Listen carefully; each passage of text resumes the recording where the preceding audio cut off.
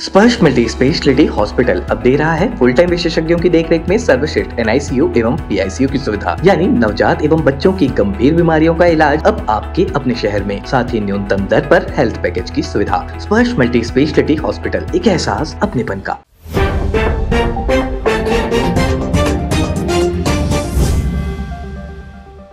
बलौदा बाज़ार बवाल के मामले में भीम आर्मी के बाद अब पुलिस की नज़र जो है भीम क्रांतिवीर संगठन पर पड़ गई है। अब जो है, भीम क्रांतिवीर जो संगठन है, उसके पदाधिकारियों की गिरफ्तारी की जा रही है और बीते रोज दो बड़े पदाधिकारियों की गिरफ्तारी हुई है। नमस्कार, मैं हूँ मयंक चतुर्वेदी और आप देख रहे हैं तीरंदाज। बलौदा बाज़ार बवाल 10 जून का जो प्रकरण है, वो सबके जहन में अभी भी ताज़ा है और उस बवाल के बाद जो है, जो गिरफ्तारियों का सिलसिला है, वो थमने का नाम नहीं ले रहा है। आपको बता देते हैं कि बवाल के बाद से ही गिरफ्तारियाँ जारी हैं और भीम आर्मी के एक बड़े कैडर को सलाखों के पीछे भेज चुकी है। बता दें कि 10 जून को बवाल के बाद से ही पुलिस ने छानबीन शुरू कर दी थी और अपनी प्रारंभिक जाँच में तीन संगठनों को इस पूरे बवाल के पीछे जिम्मेदार बताया था और वो तीन संगठन थे, भीम आर्मी, भीम रेजिमेंट और भीम क्रांति क्रांतिवीर ये तीन संगठनों को लेकर के पुलिस का मानना था कि इन सभी लोगों ने जो है मिलकर के इस पूरे बवाल को अंजाम दिया या इस बवाल के पीछे इन्हीं संगठनों के लोग जो है सक्रिय रूप से भूमिका निभा रहे थे।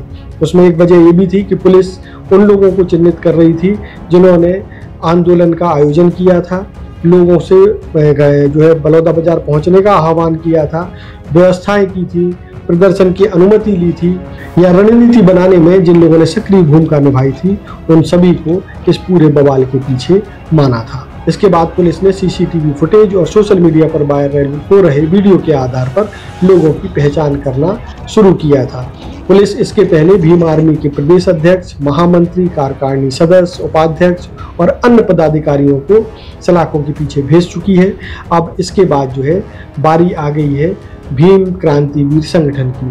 पुलिस ने बीते रोज भीम क्रांति संगठन के दो बड़े पदाधिकारियों को गिरफ़्तार किया है। एक तो भीम क्रांतिवीर के उपाध्यक्ष हैं और दूसरा जो है, भीम क्रांतिवीर की जो छात्र इकाई है, उसका प्रदेश अध्यक्ष है। आपको एक और चीज़ बता देते हैं कि भीम क्रांतिवीर संगठन के जो संस्थापक हैं, किशोर नवरंगी, उनको पुलिस पहले ही गिरफ़्तार कर चुकी है। अब आपको बताते हैं कि ये जो दो लोग गिरफ़्तार हुए हैं, उनमें कौन कौन लोग हैं? एक का नाम गोपी बंदे है, जो कि 19 वर्ष का है और ग्राम बरदा और थाना लवन का रहने वाला है। जो कि ये जो है छात्र संगठन के जो है छात्र विंग जो है क्रांतिवीर की, उसके प्रदेश अध्यक्ष हैं और दूसरे हैं संदीप उर्फ़ मोनू कोसले। मोनू की उम्र जो है करीब 21 साल है और ये ग्राम ढंढनी थाना लवन के रहने वाले हैं। ये जो है भीम क्रांति संगठन के उपाध्यक्ष हैं। अब आपको छोटा सा ब्रीफ और बता देते हैं कि अब तक पुलिस इस मामले में क्या क्या कर चुकी है, कितने लोगों को गिरफ़्तार कर चुकी है। सबसे पहले बताते हैं कि जो लोग ये वीडियो पहली बार देख रहे हैं, उनको रिकॉल करने के लिए बता दें कि 10 जून को एक बड़ा बवाल बलौदा बाज़ार में हुआ था। सतनामी समाज का जो पवित्र स्थल है गिरोधपुरी वहाँ पर पवित्र जैत खम्भ को नुकसान पहुँचाया गया था, उसको काट दिया गया था। ये बात मई महीने की है, इसके बाद सतनामी समाज लगातार आरोपियों की या वारदात को अंजाम देने वालों को पकड़ने की मांग कर रहा था। हालाँकि पुलिस ने कुछ लोगों को गिरफ़्तार किया और ये बताया कि आपसी विवाद या मजदूरी न मिलने के कारण बिहार के तीन मजदूरों ने जैत खम्भ को काटा है। हालाँकि सतनामी समाज के लोग पुलिस की इस थ्योरी पर भरोसा नहीं कर रहे थे। सतनामी समाज के लोगों का कहना था कि इस मामले की सीबीआई जाँच होनी चाहिए। हालाँकि सरकार ने न्यायिक जाँच की घोषणा कर दी थी, लेकिन इसके बाद भी जो है सतनामी समाज के लोग सीबीआई जाँच की मांग चाहते थे या सीबीआई जाँच चाहते थे। इसी मामले को लेकर के 10 जून को बलौदा बाज़ार के दशहरा मैदान में एक प्रदर्शन का आयोजन किया गया। पुलिस ने और प्रशासन ने सतनामी समाज की जुड़ती भीड़ को देखते हुए काफ़ी मात्रा में पुलिस बल की तैनाती की थी, लेकिन जब प्रदर्शन के बाद या धरना के बाद सत्तामी समाज के लोग कलेक्ट्रेट की ओर बढ़ते हैं तो इतनी बड़ी भीड़ के सामने पुलिस और प्रशासन के इंतज़ाम छोटे पड़ जाते हैं। भीड़ जो है कलेक्ट्रेट में घुस जाती है।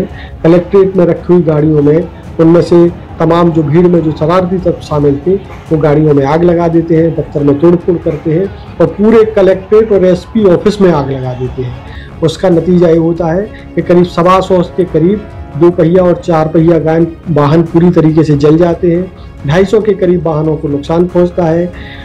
कलेक्ट्रेट दफ्तर के कई विभागों के ज़रूरी कागजात पूरी तरीके से जल करके नष्ट हो जाते हैं। इसके बाद शुरू होता है पुलिस का एक्शन और पुलिस अपने एक्शन के बाद तीन संगठनों को इस पूरे बवाल के पीछे या लोगों को उकसाने के मामले में जिम्मेदार मानती है। और वो तीनों संगठन, जैसा हमने पहले बताया कि भीम आर्मी, भीम रेजिमेंट और भीम क्रांतिवीर संगठन है। इनके लोगों की या इनके पदाधिकारियों की गिरफ्तारी शुरू होती है। भीम आर्मी के बड़े पदाधिकारी जो है, पुलिस गिरफ़्तार कर चुकी है। अब भीम क्रांतिवीर के संगठनों पर पुलिस नज़र गड़ाए हुए है और इनकी गिरफ्तारियाँ की जा रही हैं। आने वाले दिनों में भीम रेजिमेंट से जुड़े हुए लोगों की भी गिरफ्तारी शुरू हो सकती है। इसके अलावा जाँच का दायरा भी बढ़ता जा रहा है पुलिस जो है बलौदा बाज़ार के अलावा आसपास के जिलों और जिन जिन जिलों से ऐसे लोग आए थे जिन्होंने जो है वारदात को अंजाम दिया, लोगों को उकसाया, तोड़फोड़ की, उनकी गिरफ्तारी की जा रही है। इस पूरे प्रकरण के दौरान लूटपाट के मामले भी सामने आए थे और उनको भी जो है, जो लूटपाट करने वाले हैं, उनको भी चिन्हित करके उनकी गिरफ्तारियाँ की जा रही हैं। तो इस प्रकार से अब तक बलौदा बाज़ार बवाल मामले में पुलिस अब तक एक सौ अट्ठावन लोगों को गिरफ़्तार कर चुकी है। हालाँकि इन सतनामी समाज के लोगों में इसको लेकर के आक्रोश था। इस पूरे बवाल के बाद सतनामी समाज के समर्थन में चंद्रशेखर रावण 4 जुलाई को भटगांव पहुँचे थे। वहाँ उन्होंने एक सभा की थी।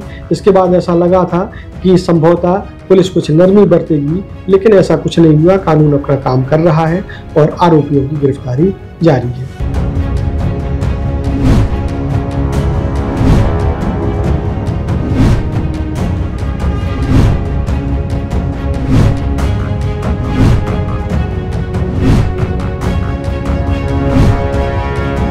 छत्तीसगढ़ और देश विदेश से जुड़ी खबरों से जुड़े रहने के लिए आप तीरंदाज को सब्सक्राइब करना बिल्कुल ना भूलें और बेल आइकॉन को ज़रूर दबा दें ताकि आपके पास जैसे ही खबर डले नोटिफिकेशन पहुँच पाए। नमस्कार।